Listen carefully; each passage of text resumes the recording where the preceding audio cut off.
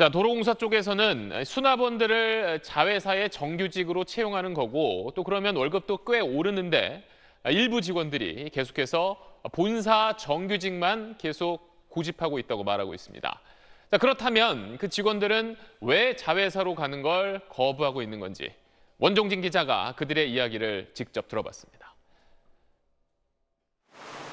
톨게이트 아줌마라고 불리던 이들은 원래 도로공사 소속 직원이었습니다. 그런데 IMF 이후 비용 절감, 효율화 바람이 불었고 이들은 용역업체 하청 직원이 됐습니다.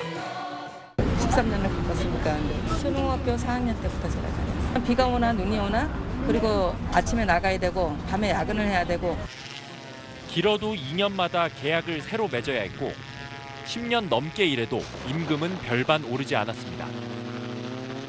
근로 조건은 나빠졌는데 공사의 요구는 그대로였습니다. 소속은 하청업체였지만 도로공사 직원들로부터 친절 교육, 근태 관리 등을 받았습니다.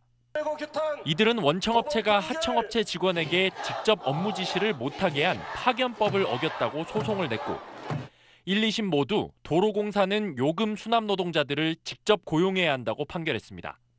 그런데 최종심을 앞두고 도로공사가 자회사를 만들어 정규직으로 고용하겠다는 건 꼼수라고 반발합니다. 기존 용역업체 직원 신분과 다를 게 없다고 생각하는 겁니다.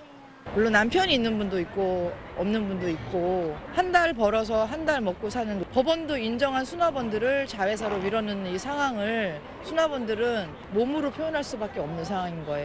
늘어나는 하이패스, 수납 업무의 자동화 속에서 자회사로 가면 경영이 악화될 경우 일자리를 잃을 수 있다는 불안감도 큽니다. 그래서 이번엔 고용 불안에서 꼭 벗어나겠다는 간절함이 그들을 거리로 나서게 했습니다.